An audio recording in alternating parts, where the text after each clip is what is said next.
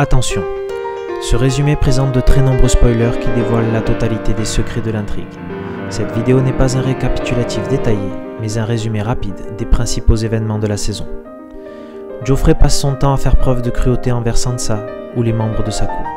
Tyrion essaie tant bien que mal d'empêcher Geoffrey de faire du mal à Sansa et demande à sa compagne Shae d'en être la servante. Kathleen Stark tente de négocier avec Renly Baratheon qui possède une armée de 100 000 hommes et qui est à présent marié à Marjorie Tyrell. Peter Baelish tente également de négocier, tout comme Stannis. Mélisandre, la prêtresse de Stannis, tue Renly à l'aide d'une créature des ténèbres dont elle accouche. Du côté de Robb Stark, Kathleen relâche Jaime sans l'accord de Robb dans l'espoir de revoir ses filles vivantes. Theon Greyjoy repart pour les îles de Fer, sa terre natale, pour négocier une alliance avec son père, Balon mais son père préfère au contraire attaquer le nord en l'absence de Rob.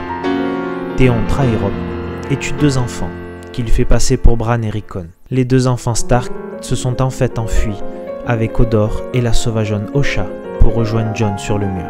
Théon est livré aux Bolton qui ont été envoyés par Rob pour reprendre Winterfell. Suite à la mort de Khal Drogo, Daenerys continue sa route avec ce qu'il reste de sa horde. Après avoir traversé non sans douleur le désert, elle tombe sur la ville de Carte, une ville dirigée par 13 marchands. L'un d'eux, Xaro, semble vouloir aider Daenerys. Il organise une fête en son honneur durant laquelle ses gardes sont tués et ses dragons volés. Elle découvre que l'auteur de ces méfaits n'est autre que Piat Pri, un étrange marchand rencontré durant la soirée. Elle retrouve finalement les dragons et les pousse à tuer Piat Pri. Xaro accepte de financer l'expédition de Daenerys si celle-ci accepte de l'épouser. Elle apprend que Xaro et sa servante Doréa ont couché ensemble et décide de les emmurer vivants, dans le coffre du riche marchand, puis elle se livre au pillage de la ville de Carte. Arya est conduite au mur. Sur le chemin, elle est capturée par des hommes du guet. Dans la bataille, elle libère Jaqen, un prisonnier. Elle est emmenée à Harrenhal et devient la servante de Tywin Lannister qui ignore tout de sa véritable identité. Jaqen, qui s'avère être un assassin changeur de visage, paie sa dette envers Arya en tuant deux personnes pour elle l'aide à s'enfuir. Jaqen remet une pièce et apprend une phrase à Arya qui lui permettront plus tard de devenir elle aussi un assassin. Pour le moment, elle repart à la recherche de sa famille. John part en expédition au nord du mur avec la garde de nuit. Ils font une halte chez Craster qui ne vit qu'avec ses filles dans le cadre de relations incestueuses. Samuel se prend d'affection pour Ver, l'une d'entre elles.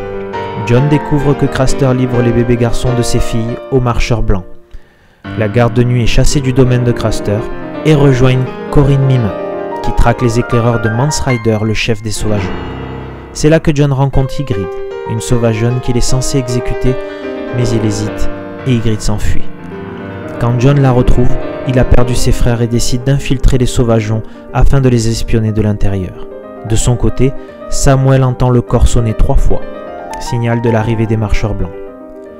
Stannis attaque Port-Réal mais ses bateaux sont détruits par le feu grégeois. Geoffrey fuit la bataille et Tyrion survit in extremis.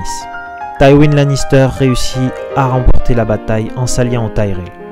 Geoffrey nomme Tywin main du roi. Il donne Harrenhal à Peter Baelish et épouse Marjorie Tyrell, la veuve de Renly Baratheon. Sandor Clegane, le limier, fuit Port-Réal et propose à Sansa de l'accompagner, mais elle refuse.